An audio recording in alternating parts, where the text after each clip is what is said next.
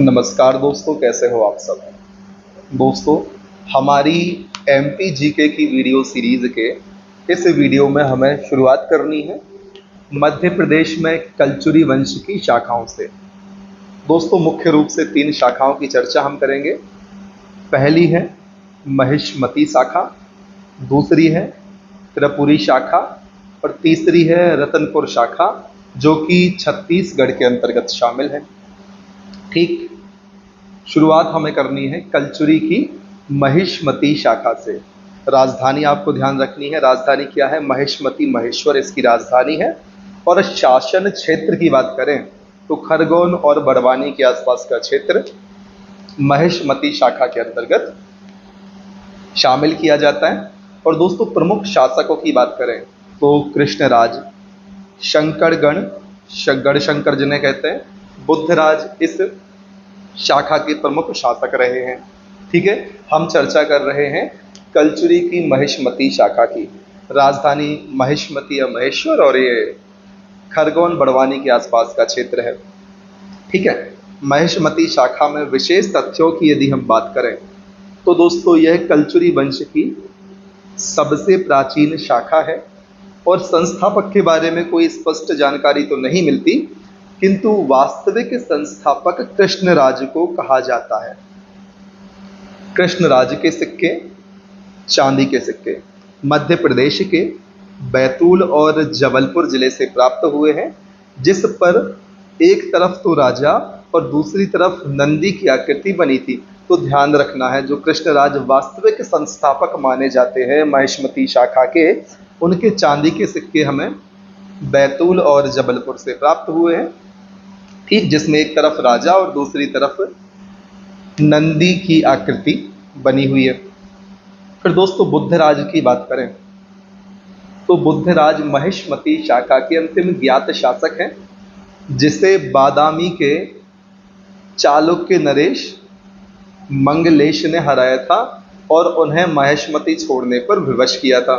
तो ध्यान रखना है, बुद्धराज और बादामी चालुक्य के नरेश के मध्य युद्ध हुआ था, जिनका नाम है मंगलेश, और इन्होंने बुद्ध राज को महेशमती छोड़ने के लिए विवश या मजबूर कर दिया था। ठीक है, ये तो बात हुई महेशमती शाखा की। अब दोस्तों, चर्चा करते हैं हम त्रिपुरी शाखा कलचुरी वंश। राजधानी क्या है? त्रिपुरी है। शासन क्षेत्र की बात करें तो कटनी, जबलपुर, महाकौशल क्षेत्र हम सभी जानते हैं इसके बारे में। ठीक है, संस्थापक की बात करें। तो दोस्तों, बामराज या बामन राज कलचुरी की त्रिपुरी शाखा के संस्थापक माने जाते हैं, लेकिन कुछ स्रोत में दोस्तों, कोकल प्रथम को भी संस्थापक माना जाता है। अब प्रश्न आएगा तो आपको अपना विवेक जागृत करना होगा।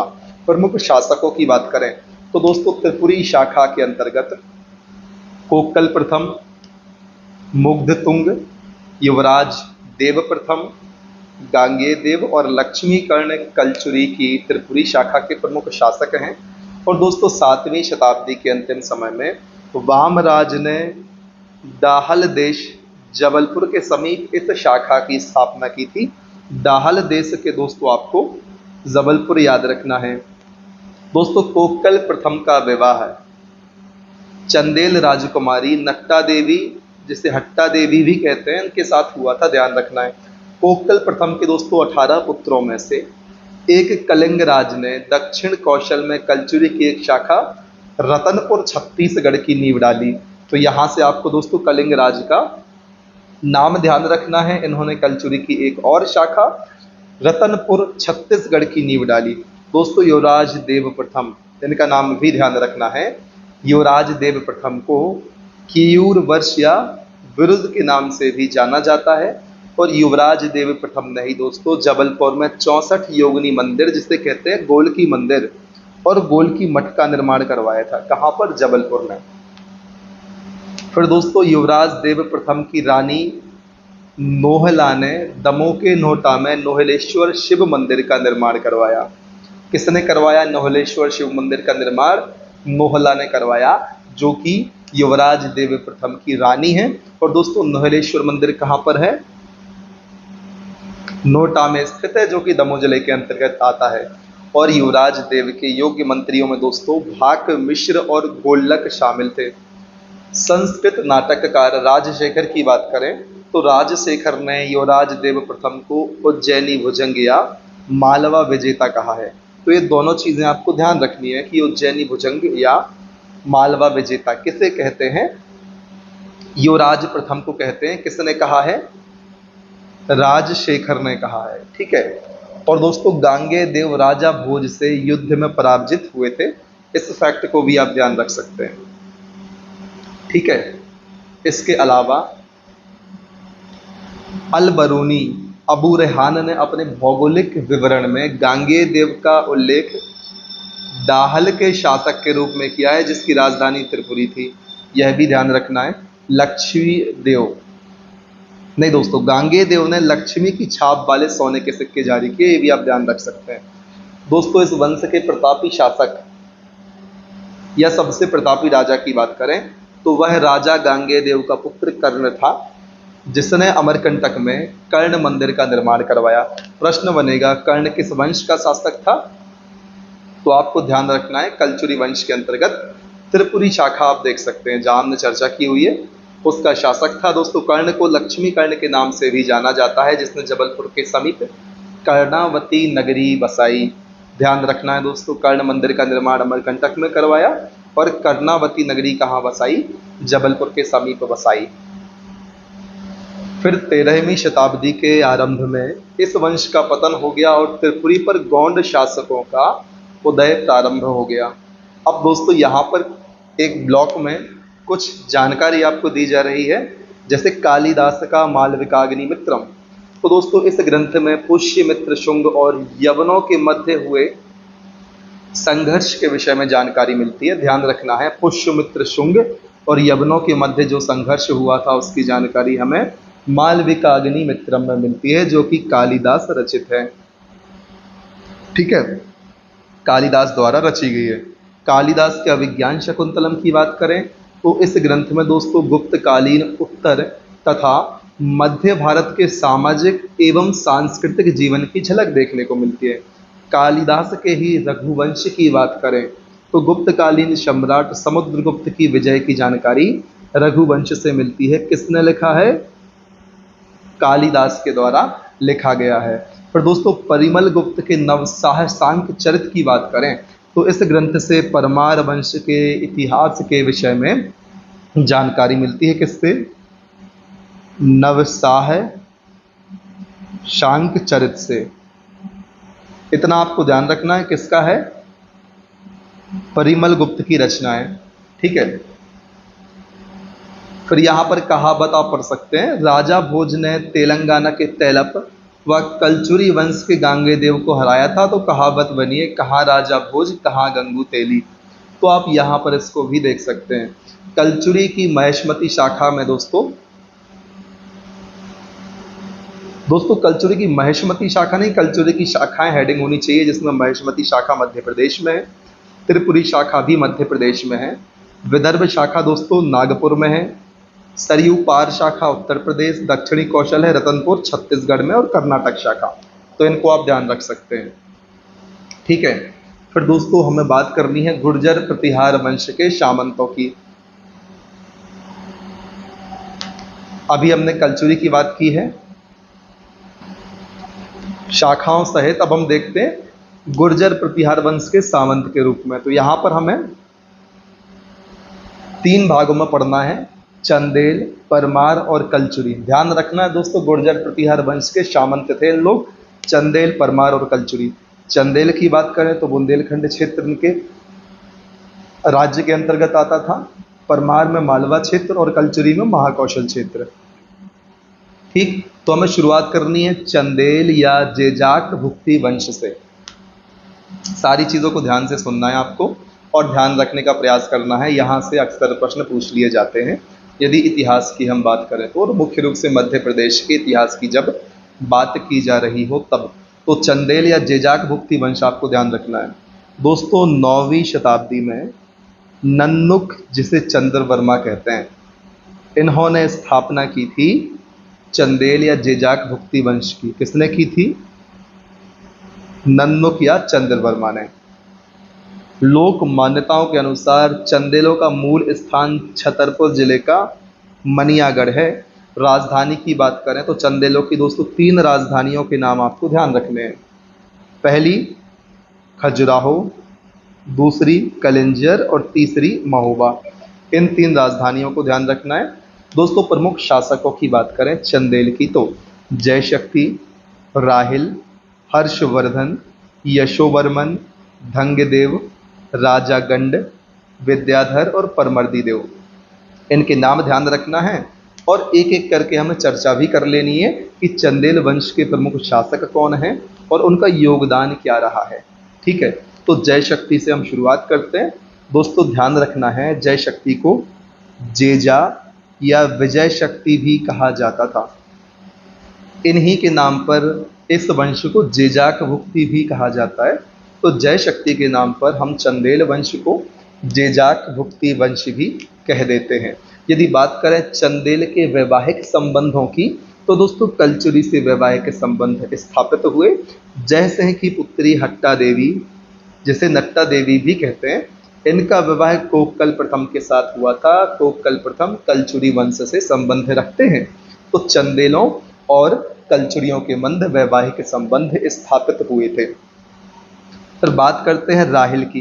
तो जय शक्ति का पुत्र था और इतिहासकारों के अनुसार सागर में स्थित रहली नामक नामकरण इसी चंदेल शासक के नाम पर हुआ। सागर के आसपास आपने दोस्तों रहली क्षेत्र सुना होगा। तो रहली का जो नामकरण हुआ है, रहली नगर का नामकरण राहिल के नाम पर हुआ है। दोस्तों, राहिल जय शक्ति का पुत्र था। हर्षवर्मन की बात करें तो दोस्तों, हर्षवर्मन ने मतंगेश्वर मंदिर का निर्माण करवाया था। इस फैक्ट को भी आपको ध्यान रख लेना है।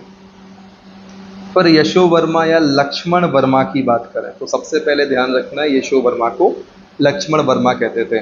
चंदेल शासक यशो वर्मन ने दोस्तों, चतुर्भुज मंदिर का निर्माण और लक्ष्मण मंदिर की नींव खजुराहो में रखी। यशो वर्मन ने दोस्तों, प्रतिहार राजा महीपाल, परमार राजा सीयक द्वितीय और कलचुरी नरेश युवराज देव प्रथम को हराया था। क्या क्या ध्यान रखना है? जो यशोवर्मन ने, इन्होंने प्रतिहार राजा, महीपाल, परमार राजा, सियक द्वितीय और कलचुरी राजा युवराज देव प्रथम को हराया था। किसने? यशोवर्मन ने। ध्यान रखना है और कैसे कैसे ध्यान रखना है? महीपाल प्रतिहार हैं। सियक द्वितीय परमार वंश से संबंधित हैं और युवराज देव प्रथम कलचुरी वंश के राजा हैं। तो यशोवर्मन ने तीनों को हरा दिया था। याद रखना है आपके लिए इस चीज़ को। दोस्तों, लक्ष्मण अभिलेख में यशोवर्मा को गौड़ रूपी कीडलता के लिए तलवार बताया गया है। ध्यान रखना है गौड़ रूपी क्रीडालता के लिए तलवार लक्ष्मण अभिलेख में किसे बताया गया है? यशोवर्मन को बताया गया है। और महोबा में दोस्तों बेला सागर, बेला ताल झील का निर्माण करवाया था यशोवर्मन ने। याद रखना है, बेला सागर, बेला ताल झील का निर्माण महोबा में किसने करवाया था? यशोवर्मन ने ही करवाया था। चतुर्भुज मंदिर और लक्ष्मण मंदिर का निर्माण भी यशोवर्मन ने ही करवाया था। अब चर्चा करते हैं राजा धंग की। दोस्तों, खजुराहो में विश्वनाथ मंदिर। मरकत मणि शिवलिंग का निर्माण कराया, कलिंजर को राजधानी बनाया। तो क्या ध्यान रखना है सबसे पहले राजा धंग के बारे में कि खजुराहो में विश्वनाथ मंदिर का निर्माण करवाया, कालिंजर को राजधानी बनाया। और दोस्तों, राजा धंग ने ही खजुराहो का जिन्नानाथ मंदिर पार्शनाथ मंदिर का निर्माण कराया। इसे भी आपको ध्यान रखना है। दोस्तों, राजा धंग ने यशोवर्मन द्वारा प्रारंभ किए लक्ष्मण मंदिर का निर्माण कार्य पूरा कराया। और राजा धंग के जीवन के अंतिम समय में दोस्तों, प्रयाग के संगम में इन्होंने जल समाधि ले ली थी। तो यह फैक्ट भी ध्यान रखें, जल समाधि के माध्यम से प्राण त्यागे थे किसने? राजा धंग ने। पर गंड की बात करें तो दोस्तों, धंग के पुत्र गंड ने खजुराहो में चित्रगुप्त व जगदम्बा मंदिर का निर्माण करवाया था। इन मंदिरों को ज़रूर याद रखना है कि भाई चित्रगुप्त और जगदम्बा मंदिर का निर्माण किसने कराया? राजा गंडदेव ने कराया, मतंगेश्वर का हर्षवर्मन ने कराया यशोवर्मन ने कराया चतुर्भुज मंदिर का निर्माण और लक्ष्मण मंदिर की नींव रख दी। जिन्नानाथ पार्शनाथ मंदिर का निर्माण रंगदेव ने कराया और गंडदेव ने हमने चर्चा कर ही ली है। चित्रगुप्त मंदिर और जगदम्बा मंदिर का निर्माण खजुराहो में कराया था। फिर विद्याधर की बात करें तो गंड के पुत्र विद्याधर ने ध्यान रखना है। विद्याधर किसके थे? राजा गंड के पुत्र थे विद्याधर। इन्होंने खजुराहो में सबसे बड़े कंदरिया महादेव मंदिर, जिसकी ऊंचाई लगभग 31 मीटर है इसका निर्माण कराया था। ठीक है दोस्तों? और दोस्तों, विद्याधर समुद्रगुप्त की तरह कविताओं की रचना करता था। इसने लुगात ए हिंदवी कविता की रचना की। अब मान लो प्रश्न बन जाए। लुगात ए हिंदवी कविता की रचना किसने की? तो विद्याधर आंसर कर देना है। दोस्तों, विद्याधर ने अपनी कूटनीति से महमूद गजनवी से दोस्ती और संधि कर ली थी। और उसके आक्रमण का सफल विरोध किया था। इतना आपको ध्यान रखना है। यदि बात करें कीर्ति वर्मन की तो दोस्तों कीर्ति वर्मन ने महोवा की कीर्त सागर या कीर्ति सागर झील का निर्माण करवाया, जो कि चंद्रावल और उसकी सहायक नदी चंदनोर को रोककर बनाया गया था। दोस्तों, कीर्ति वर्मन ने कलेंजर में बुढ़ा बुद्धि तालाब का निर्माण कराया। बुढ़ा बुद्धि तालाब कहाँ पर है? कलेंजर में है और कीर्ति वर्मन ने करवाया था निर्माण। और दोस्तों कीर्ति वर्मन के दरबार में कृष्ण मिश्र नाटककार रहता था, जिसने प्रबोध चंद्रोदय की रचना की। तो ध्यान रखना है, प्रबोध चंद्रोदय की रचना किसने की? कृष्ण मित्र ने की और जो कि नाटककार हैं। फिर परमर्दी देव। दोस्तों, परमर्दी देव को परमाल के नाम से जाना जाता है, जिसने अपनी राजधानी कलिंजर और महोबा को बनाया। परमर्दी देव दोस्तों, अठारह सौ ग्यारह सौ बयासी में पृथ्वीराज चौहान से पराजित हुए और महोबा क्षेत्र उन्हें सौंपना पड़ा। तो ध्यान रखना है, ग्यारह में परमर्दी देव और पृथ्वीराज चौहान के बीच युद्ध हुआ था, जिसमें परमर्दी देव पराजित हो गए और महोबा क्षेत्र उनको छोड़ना पड़ा, पृथ्वीराज को सौंपना पड़ा। प्रसिद्ध कवि जगनिक की बात करें तो इनके दरबार में थे और परिमल रासों की रचना कर डाली इन्होंने। आल्हा और उदल परमर्दी देव के मुख्य सेनापति थे, जिनके सम्मान में जगनिक ने वीर रस से ओतप्रोत आलाखंड की रचना की है। तो जगनिक ने करिए दोस्तों, आलाखंड की रचना, ध्यान रखना है आपको इस चीज़ के बारे में। दोस्तों, आलाखंड को विश्व की सबसे लंबी कविता कहा जाता है, जिसमें आला उदल की बावन लड़ाइयों का उल्लेख है। ठीक हमीर वर्मन की बात करें तो दोस्तों, इनके समय कुतुबुद्दीन ऐबक ने कलिंजर पर आक्रमण 1203 में हुआ एवं चंदेल वंश का पतन शुरू हो गया। फिर रानी दुर्गावती। दोस्तों, रानी दुर्गावती का जन्म हुआ था 1524 में। चंदेल शासक कीरत सिंह के भाई शाली वाहन के यहाँ पर। चंदेल वंश की अंतिम राजकुमारी जो रानी दुर्गावती है, उनका विवाह गौंड शासक दलपत शाह के साथ हुआ था। इस फैक्ट को ध्यान रखना है और इसी के साथ, दोस्तों, हमने इस वंश को समाप्त कर लिया है। अगले वीडियो में हम चर्चा करेंगे मध्य प्रदेश में मालवा के परमार वंश की।